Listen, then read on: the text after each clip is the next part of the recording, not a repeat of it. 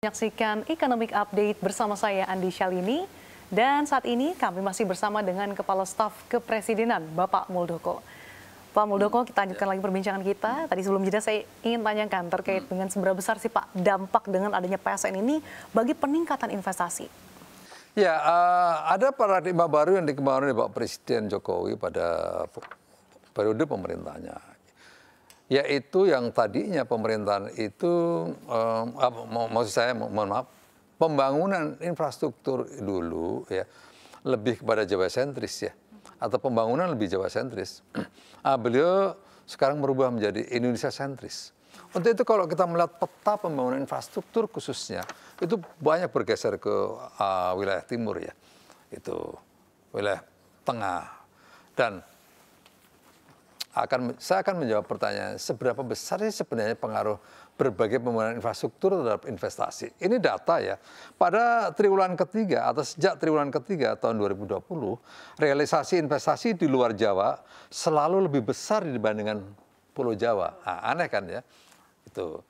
Data pada triwulan pertama 2023 mencatat realisasi investasi di luar Jawa mencapai 52,6 persen atau 172,9 triliun. Nah, ini pasti ada alasannya dong kan gitu. Hal ini merupakan hasil dari pembangunan infrastruktur konektivitas di luar Pulau Jawa yang semakin masif dan komitmen nyata Bapak Presiden untuk pembangunan Indonesia sentris.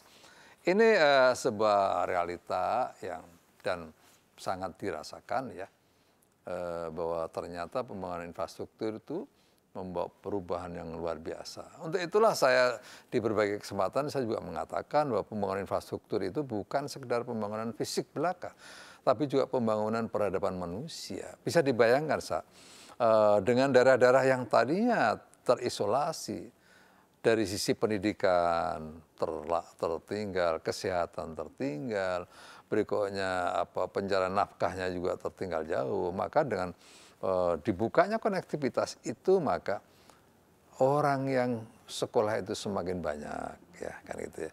E, pendapatannya meningkat karena konektivitas itu bisa menghubungkan antara daerah-daerah yang tadinya memiliki produksi di sektor tertentu yang memiliki nilai jual yang tinggi tapi tidak bisa dibawa ke mana-mana dengan dibukanya berbagai infrastruktur ini uh, itu semuanya bisa terangkut maka anaknya bisa disekolahkan, berikutnya apa itu kesehatan juga bisa masuk mendekat ke sana dengan baik, maka itulah peradaban itu menjadi bertumbuh. Nah, kira-kira seperti itu. Jadi tidak hanya menyejahterakan masyarakat, tapi juga bisa meningkatkan investasi ya Pak ya. ya, ya. Ngomong-ngomong soal investasi, hmm. ini sebetulnya bagaimana sih Pak uh, Anda memastikan bahwa penegakan hukum di tanah air ini bisa berjalan dengan baik? Ya. Karena uh, ada beberapa proyek yang kita tahu juga cukup menghambat gara-gara ada kasus korupsi.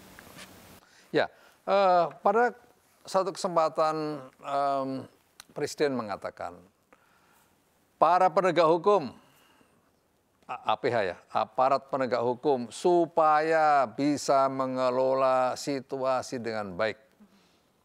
Tidak ada APH yang bermain-main apa itu membuat situasi menjadi sulit bagi pertumbuhnya investasi.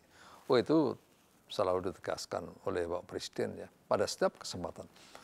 Bahkan kalau uh, saya ada laporan, ya laporan ke KSP, ada suatu saat laporan dari bawah bahwa uh, ada aparat penegak hukum yang begini begini begini, saya langsung membuat surat kepada Jaksa Agung, saya membuat surat kepada Kapolri supaya hal ini diluruskan dengan baik. Nah itu. Jadi prinsipnya bahwa Presiden sangat clear dan sangat tegas bahwa jangan aparat penegak hukum menggunakan kekuasaannya yang tidak semestinya dan pada akhirnya akan mengganggu jalannya investasi di sebuah wilayah tertentu. Itu. Ya. Uh, terkait dengan pungli daerah ini seperti apa Pak? Karena kan ini juga dikhawatirkan bisa mengganggu proyek strategis nasional yang sedang dibangun. Ya, saya pikir memang pungli masih uh, masih banyak kita mendapatkan laporan ya masih ada laporan tentang pungli tetapi sekali lagi bahwa uh, ada sebuah ketegasan mafia tanah juga masih ada kita harus mengakui bahwa itu ada tetapi yang paling penting adalah ada upaya-upaya apa itu hmm, kuat dari pemerintah untuk menangani berbagai persoalan yang masih dirasakan oleh masyarakat itu. Kalau uh, kita menyerah, mungkin ada menjadi besar masalahnya. Tapi sepanjang kita masih punya kekuatan untuk menekan itu, jangan sampai ada lagi, ada lagi. Saya sendiri di sini juga kesal juga kalau itu masih ada seperti itu. Maka kita tekankan terus ya. Gitu. Dari berbagai uh, program saya KSP mendengar, saya sering masih mendapatkan laporan, Pak masih ada begini, begini, oke. Dan saya langsung bertindak untuk menyampaikan kepada apa itu pimpinan hmm, kementerian lembaga terkait itu. Jadi ada keseriusan juga dari pemerintah terkait hal ini ya Pak ya? ya sangat, sangat Sama serius. seperti keseriusan dalam terus mengencarkan proyek IKN Pak. Ini ya. seperti apa dari KSP sendiri? Ya uh, proyek IKN ya uh, sepanjang uh, sampai dengan saat ini secara regulasi uh, kita uh, terus penuhin ya uh, undang-undangnya sudah ada, peraturan menterinya, eh, peraturan pemerintahnya sudah ada, peraturan menterinya sudah ada. Berikutnya strukturnya sudah terbentuk, ya. Undang-undang ada, struktur terbentuk, programnya berjalan, ya.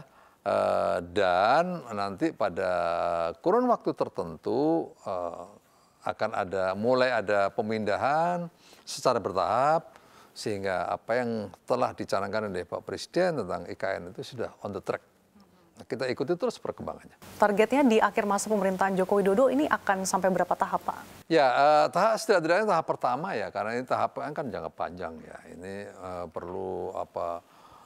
Uh, perlu konsistensi dalam menjaga ini, menjaga program yang telah dicanangkan.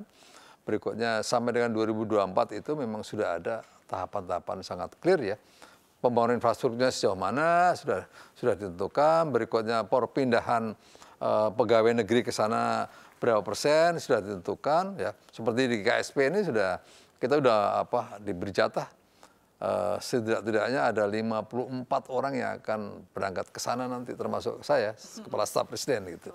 Nah itu. Jadi udah udah udah disiapkan semuanya Ya. Apakah sudah dipastikan bahwa proyek IKN ini tidak akan menjadi proyek yang bisa dikatakan dikhawatirkan mangkrak gitu Pak, tidak dilanjutkan oleh pemerintahan selanjutnya? Uh, saya pikir enggak ya, karena sudah yang pertama sudah ada undang-undang ya, dikawal oleh undang-undang. Itu bukan... Itu uh, sudah menjadi jaminan juga ya Pak? Iya, saya pikir, maka saya bicara pertama dari instrumennya dulu nih. Kalau instrumennya sudah kuat, uh, maka ini menjadi sebuah apa PSN yang uh, harus berjalan begitu.